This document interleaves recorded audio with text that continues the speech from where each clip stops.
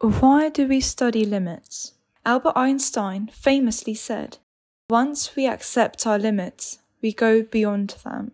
Limits help us explore the boundaries of the known and unknown, and thus they are the embodiment of the human spirit of relentless inquiry. In calculus, as well as in life, some functions vary continuously, while others jump or vary erratically. To investigate the behavior of such functions and analyze them, we need the concept of limits. Now, suppose we want to pursue research in something of which nothing is known previously. Then how do we approach it?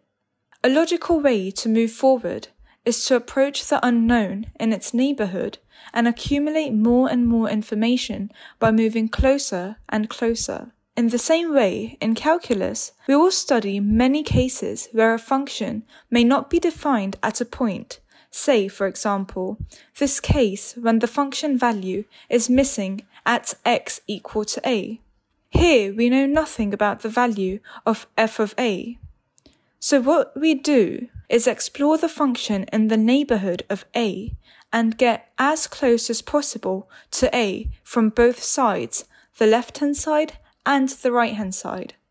Along with the missing values and boundary problems, we will be studying the slope of chords in a curve. Let us assume a function y is equal to f of x, and AB is a chord of the curve.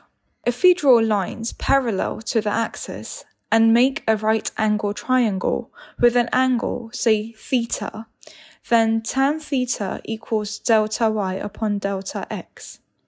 Now, we want this B to be as close as possible to A so that the chord becomes a tangent at A. For this to happen, B should be nearly A, but not A.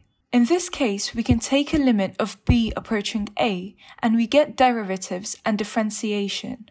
Another fundamental problem in calculus is the area under the curve. Suppose we wish to calculate the area under the curve for this function y is equal to fx between x is equal to a and x is equal to b. Here, what we will do is we will divide the area into n equal parts and draw rectangles. From the graph, we can see that the rectangles overshoot or undershoot the curve. To calculate the area of the curve, we will have to divide the region into infinite parts. Now, infinity is not a number, but an idea of something unlimited, endless, and without bound. In this case, we can take a limit of n approaching infinity and we get integration. Without limits, there will be no calculus, for there will be no differentiation or integration. It will then just be the study of functions through trigonometry and coordinate geometry. So, in the end, I would just say, know your limits, but never stop trying to exceed them.